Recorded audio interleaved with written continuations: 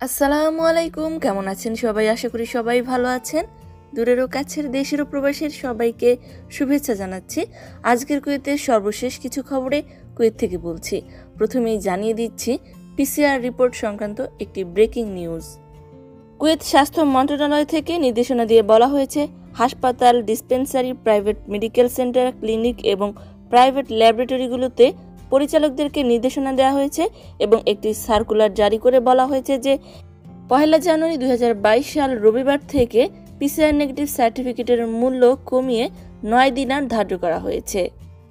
Medical licensing কমিটির সিদ্ধান্তের ভিত্তিতে পিসিআর পরীক্ষার মূল্য কমানো হলো। আরও উল্লেখ থাকে যে সাবেক স্বাস্থ্যমন্ত্রী ডক্টর বাসিলাল সাবা এই প্রস্তাবনা রেখে গিয়েছিলেন, শুধুমাত্র লাইসেন্সিং কমিটির অনুমোদনের অপেক্ষায় ছিল, আজ তা কার্যকর করা হলো। জানিয়ে দিচ্ছি আরও একটি ব্রেকিং নিউজ কুয়েতের জ্বালানি তেলের দাম বৃদ্ধি সম্পর্কে। স্থানীয় পত্রিকা আখবার আলুম্মার সূত্র অনুযায়ী জানা যায় যে, কুয়েত ন্যাশনাল পেট্রোলিয়াম কোম্পানির সিদ্ধান্ত অনুযায়ী কুয়েতের অন্যতম জ্বালানি তেল আলট্রা নাইনটি এইট অক্টেনের মূল্য আরও বিশ পয়সা বাড়ানো হয়েছে। এর বর্তমান মূল্য দুইশো পয়সা করে ধর্তব্য হবে পহেলা জানুয়ারি দু হাজার বাইশ সাল থেকে। এদিকে স্বাস্থ্য মন্ত্রণালয় থেকে জানিয়ে দেওয়া হয়েছে যে স্বাস্থ্য ও নিরাপত্তা রক্ষার্থে আবহাওয়ার অস্থিতিশীলতার কারণে কুয়েতের জাবের ব্রিজের পাশে অবস্থিত ভ্যাকসিনেশন সেন্টার হতে আজ আর কোনো ভ্যাকসিন প্রদান করা হবে না। ভ্যাকসিন প্রক্রিয়া বন্ধ করা হয়েছে। ব্রিজের ভ্যাকসিন কার্যক্রম শুরু হলে আবারও ইনশাআল্লাহ জানিয়ে দিব। এদিকে আলমাজালিসের সূত্র অনুযায়ী জানা যায় যে সুয়েখের আলো আলোয়াত্তিয়া সমুদ্র সৈকতে একটি অজ্ঞাত মেয়েকে তার গাড়িতে মৃত অবস্থায় পাওয়া গিয়েছে। ওই অজ্ঞাত মৃত মেয়ের পাশে একটি এয়ার পিস্তল ছিল এবং তার নাক ও মুখ থেকে রক্ত বের হচ্ছিল। এই বিষয়ে তদন্ত করা হচ্ছে, তবে মেয়েটি কোন দেশীয় নাগরিক তা জানা যায়নি। এদিকে কুয়েত স্বরাষ্ট্র মন্ত্রণালয় থেকে জানানো হয়েছে যে দশ কেজি গাঁজা এবং মাদক জাতীয় ক্যাপটি লারিকা সাবু পিস্তলের বুলেট ও আঠারো হাজার দিনাসহ একজন বেদুন ব্যক্তিকে গ্রেফতার করেছে কুয়েতের নিরাপত্তা রক্ষীরা। জানিয়ে দিচ্ছি, লাইসেন্স সংক্রান্ত একটি সুখবর। স্থানীয় পত্রিকা কুয়েত টাইমসের রিপোর্ট অনুযায়ী জানা যায় যে কুয়েতের সাধারণ ট্রাফিক বিভাগ থেকে জানানো হয়েছে যে বেশ কয়েকদিন বন্ধ থাকার পর অনলাইনে ড্রাইভিং লাইসেন্স নবায়ন প্রক্রিয়া শুরু হয়েছে। প্রবাসী সহ কুয়েতি নাগরিক সকলেই অনলাইনে ড্রাইভিং লাইসেন্স নবায়ন করতে পারবেন। এদিকে বৈশ্বিক মহামারী করোনার সংক্রমণের হার অনেকটাই বেড়ে গিয়েছে কুয়েতে। প্রতিদিনই লাফিয়ে লাফিয়ে বাড়ছে আক্রান্তের সংখ্যা।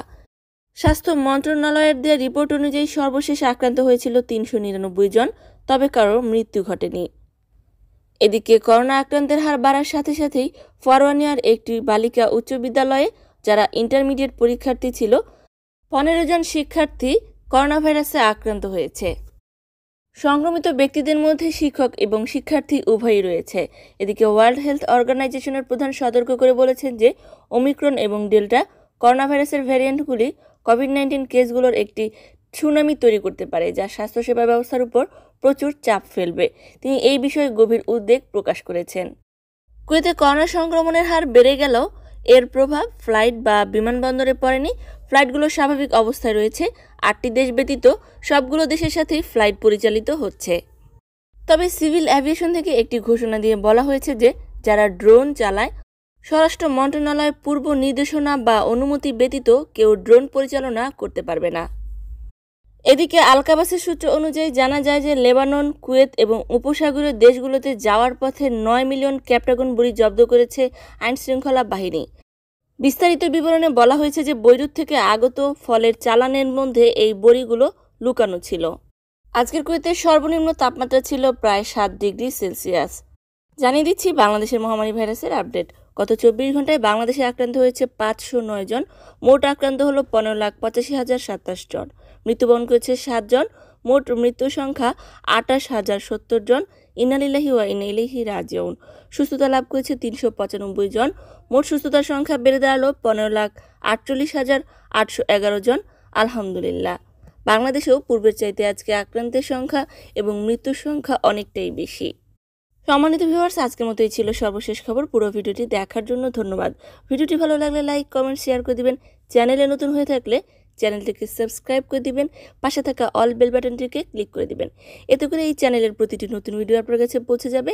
আর যারা পূর্বেই সাবস্ক্রাইব করেছেন, সবাইকে অসংখ্য ধন্যবাদ। ভালোবাসা এবং কৃতজ্ঞতা।